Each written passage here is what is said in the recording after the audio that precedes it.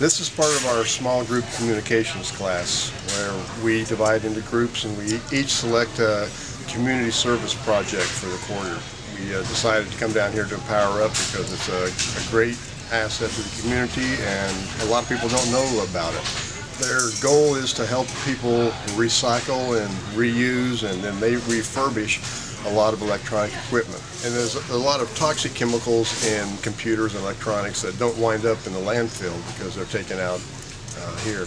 We tried to come up with some kind of a community project that everybody uh, could be motivated by. Talked to Jerry here at Empower Up, and turns out he's a former Clark student, so he is familiar with uh, Clark, and uh, they always need volunteers down here because there's so much uh, work to be done. So it worked out really well. You know, I think we're going to have a good project out of it.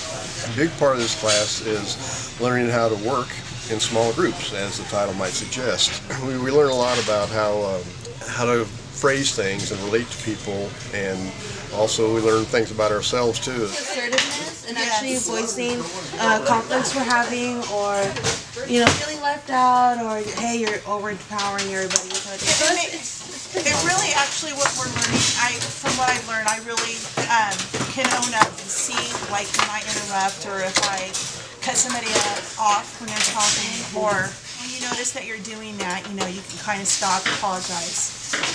So it's, it's been helpful Yeah. not just in work experience but even regular life We're having a, a good time doing it, and I think we're going to have a really good presentation at the end of the quarter.